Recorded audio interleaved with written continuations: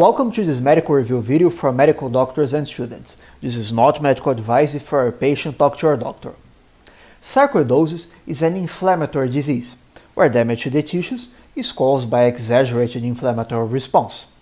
It's a granulomatous disease, meaning this inflammation manifests as granulomas. The immune system's attempt to wall off antigens it cannot readily destroy.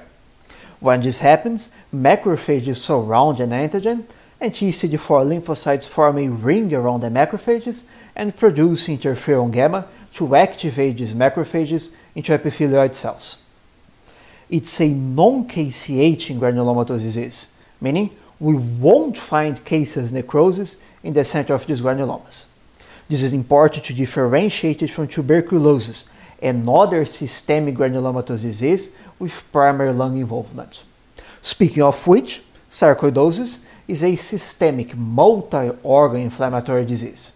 Although primarily involving the lungs and intrathoracic lymph nodes, granulomas can also be found on the skin, heart, liver, and central nervous system. Pretty much spontaneous systemic inflammation causing self-damage throughout the body. It sounds a lot like a hypersensitive reaction. Sarcoidosis is very likely a type 4 hypersensitive reaction. We're just not sure of the exact antigen. Like many hypersensitive reactions, it's multifactorial. There is a familial component. First-degree relatives have a 3 to 5 times higher risk of the disease. There are many known HLA associations. We do know prior infection with Mycobacterium tuberculosis, Propionibacterium acne and Borrelia burgdorferi is also a risk factor. So is obesity and exposure to a lot of random antigens such as dust, mold, animals also contributes likely to the risk. The quintessential prototypical sarcoidosis patient would be a 30-year-old black woman presenting with cough and dyspnea. Physical examination reveals skin lesions. Chest CT shows enlarged right paratracheal and bilateral parahilar lymph nodes. Sarcoidosis is most common and usually more severe among women and black people. It also tends to present among the age extremes between 20 and 65 years of age. Men present earlier than women. Very few patients are asymptomatic and diagnosed as an incidental chest finding.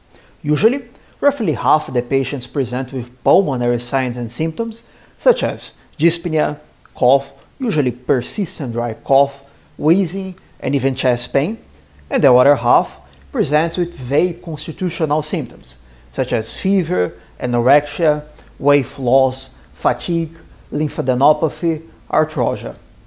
Still, some patients may seek their healthcare providers with other primary complaints, such as ophthalmic symptoms. Age, gender, race, possibly even occupational exposure influence the clinical manifestations. This is part of the reason why organ involvement varies so much between patients. After all, more advanced disease can involve other organs beyond the lungs and lymph nodes. In the skin, you may find non-specific lesions such as erythema nodosum, a panniculitis, inflammation of the subcutaneous adipose tissue of the anterior leg, usually presenting as painful nodules, and specific findings such as subcutaneous nodules and lupus pernio. Lupus pernio is the most specific cutaneous lesion for sarcoidosis. It's a violaceous rash of the cheeks and nose that vaguely resembles the malar rash of lupus erythematosus. If you biopsy any of these specific findings, you will see the non-caseating granulomas on microscopy. There is also a curious finding in patient tattoos, which is the granulomatous infiltration of the tattoos. 30 to 6% of patients have ophthalmic involvement. That's why some will complain of vision problems.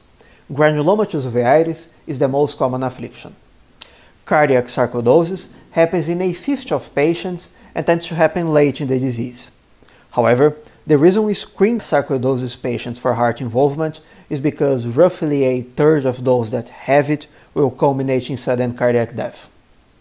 Heart block is the most common finding in almost half of these patients. In fact, the leading sarcoidosis-related causes of death are lung fibrosis and heart block. There are also some non-organ specific findings.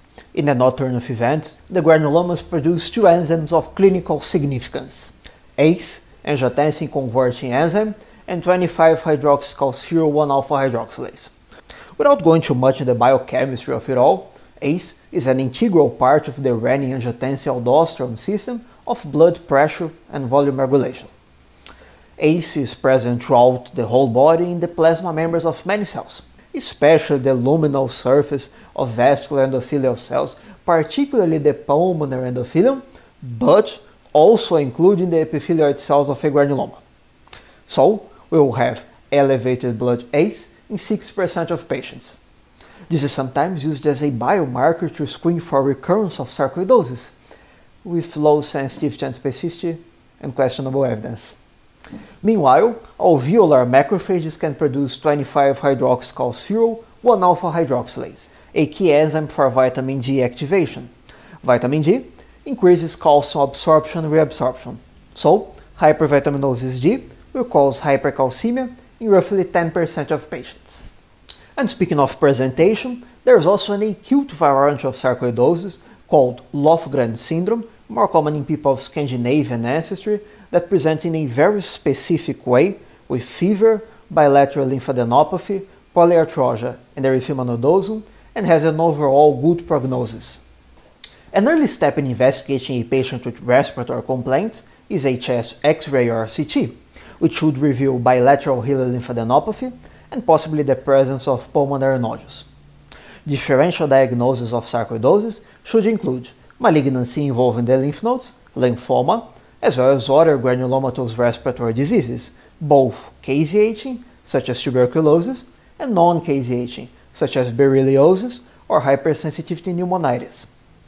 If you do choose to proceed to a bronchoalveolar lavage, it should reveal an elevated concentration of T lymphocytes and an elevated CD4 over CD8 ratio. This ratio finding is very specific. There's nothing stopping you from checking the patient's serum calcium, ACE or other serum markers, such as soluble interleukin-2 receptor. These are sensitive but non-specific markers. The gold standard for diagnosis, however, is biopsy revealing non-caseating granulomas and absence of fungi and mycobacteria. This is usually endobronchial biopsy via bronchoscopy, but it could also be biopsy of one of the specific skin lesions, for example. The biopsy will also show Schaumann bodies and asteroid bodies, multinucleated Langerhans giant cell inclusions. In a granuloma, the TCD4 lymphocytes produce interferon gamma to activate the macrophages and turn them into epithelioid histiocytes. These histiocytes will often fuse into giant cells, of the Langerhans type in this case. Schaumann bodies will be lysosomal residue bodies with calcium protein in these cells and asteroid bodies will be stellate cytoskeletal inclusions, mostly vimentin. Come on, it could be worse. Asteroid bodies, stellate inclusions. I could think of worse names. Once a sarcoidosis diagnosis is made, it's advisable to check for involvement of various organs. The patient should undergo an ophthalmologic exam. You should order serum calcium dosage to check for hypercalcemia and it may also be reasonable to check serum creatinine for renal sarcoidosis screening, serum alkaline phosphatase for hepatic sarcoidosis screening, and a complete blood count for hematological abnormalities. Afterwards, from then on, the patient should undertake an annual pulmonary function test, chest radiography, slit lamp eye examination, and EKG to screen for disease progression. Any abnormalities on the pulmonary function test will likely be of a restrictive pattern, and patients with EKG alterations may benefit from further MRI and PET imaging of the heart. MRI and PET may also be requested to check for involvement of specific systems or organs, such as the central nervous system, in the presence of suggestive symptoms. But regular screening with these imaging modalities in the absence of symptoms seems harder to recommend. Fortunately, sarcoidosis has an elevated rate of spontaneous remission. 60% of patients will improve within 6 months with no treatment or with only symptomatic treatment with non-steroidal anti-inflammatory drugs. Thus, initial management will often be watchful waiting, follow up, and re-evaluate. In patients with persistent pulmonary disease, around 15%, or extrapulmonary disease, around 10%, per oral corticosteroids should be started. Oral prednisone is a common choice. Treatment is usually very long and lasts upwards of a year. Alternatively, it may be possible to employ topical corticosteroids for ophthalmic disease or inhaled corticosteroids for endobronchial disease. Occasionally, antimetabolites and immunosuppressants such as methotrexate and azathioprine may be employed as corticoid-sparing drugs. There are also many upcoming drugs that could improve treatment, but their potential role in management is not yet fully understood. These include, for example, tofacitinib, a JAK-STAT inhibitor, CMK389, an interleukin-18 antagonist, efzofitimod, a neuropilin-2 modulator, nicotine, which enhances Treg cells, rapamycin, an mTOR receptor antagonist, and nintedanib, an intracellular tyrosine kinase inhibitor with potential use as an antifibrotic.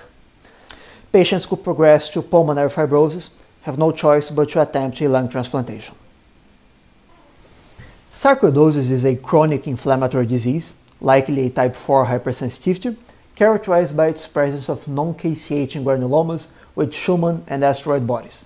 Typically respiratory and intrathoracic, it often remits spontaneously, but should be always be watched carefully for its potential to involve other organs. This is just a review to brush up our knowledge on this topic. For more information, or before taking any action that might require knowledge of the disease, we recommend checking the respective guidelines from the thoracic and respiratory societies. Thank you for watching this video, and since you are already here, why don't you consider also watching these here? And don't forget this video is sponsored by myself. You can buy my products on my store. I'll leave you with some medical art while you decide which video to watch next.